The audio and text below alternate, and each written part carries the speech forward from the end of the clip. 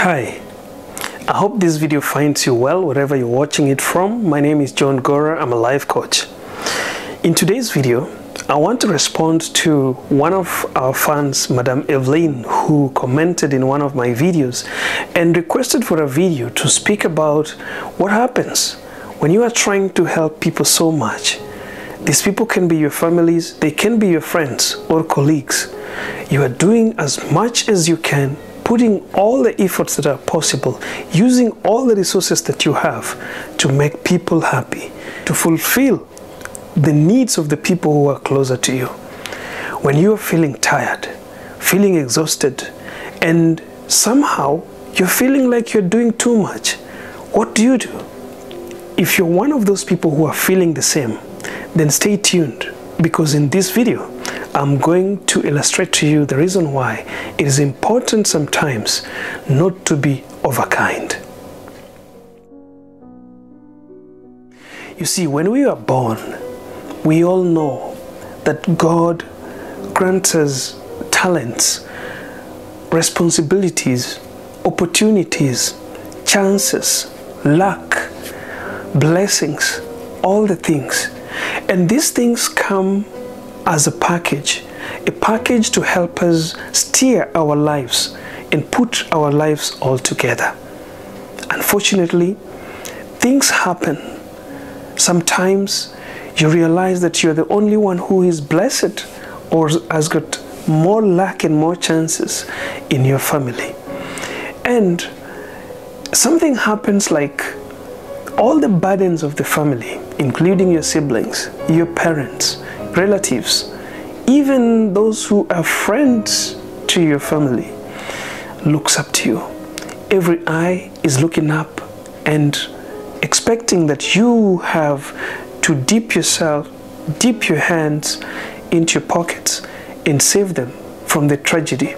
Tragedy of maybe not having a house, tragedy of not having food, tragedy of not having school fees, tragedy of not having money to pay bills in hospitals.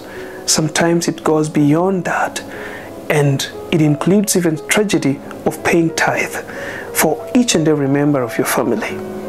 What do you do as a person? You see, we are all human beings and sometimes we become tired. But the great thing is, God sees us more than any other person.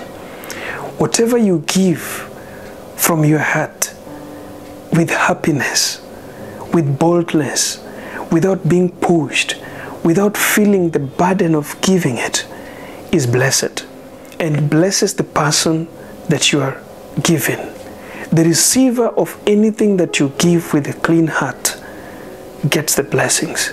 Unfortunately, the moment you start to give with a doubtful heart, with a weak heart, with a complaining heart, feeling that you're giving too much, whatever you give loses its meaning. Yes, we are human beings. We have the right to put a stop when it is too much. Helping people is the most beautiful thing. Being kind is the most beautiful thing. But remember, when you overhelp, when you become overkind, you are not punishing anyone else and you are not even helping anyone else because you have got to help yourself before you can help anyone. Look, if somebody was drowning in a sea or a swimming pool, and in the whole of your life, you have never been to any swimming school, or you've never even entered a water body to try and swim, would you enter that water to save the person just because he's drowning and you are the only person who is around? Definitely not. Because if you enter that water body, you're going to lose two lives. You cannot swim, and that guy is already drowning. The only thing you can do is to report it so that the body can be found. So you see, you cannot overburden yourself with responsibilities that are coming on your head, which sometimes is not your responsibility. Look, we have been um, put to understand that just because you are lucky within your family or amongst your family, you have to take all the responsibilities of your family, including those responsibilities that are supposed to be taken by your parents. But this is the truth. We do it out of courtesy. We do it out of kindness. We do it because they deserve. But when it is becoming a burden, when you are feeling low and feeling pain because of the same help, you have got to take a break and get back and try to be bold and speak out. Tell these people, explain to them that you see, even though I'm working and I'm getting paid, the needs, the responsibilities, the expectations are getting beyond my reach. And I cannot continue with this anymore. It's either somebody comes in to help me or I will only help to the maximum that I can. This is what most of the people fear. Do not die because of rescuing other people.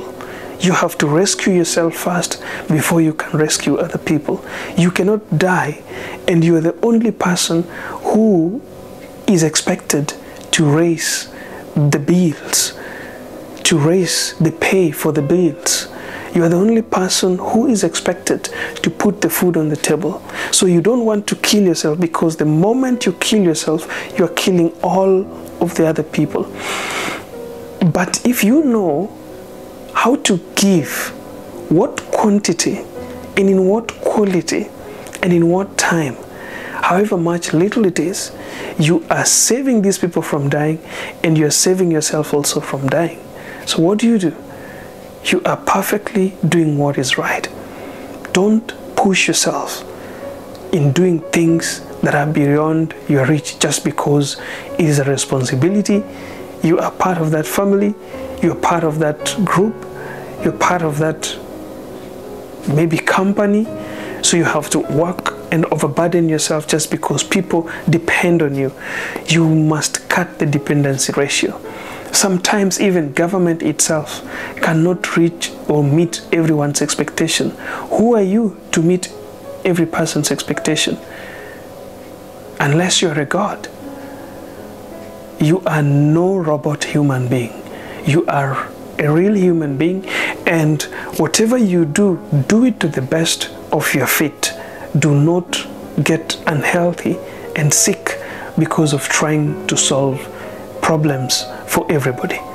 My name is John Gora. I'm a life coach. It was my pleasure hosting you here on my YouTube channel.